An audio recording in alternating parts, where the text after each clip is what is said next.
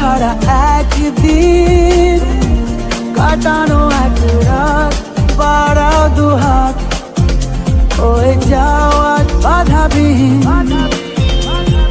বলো কবিতা হয়েছ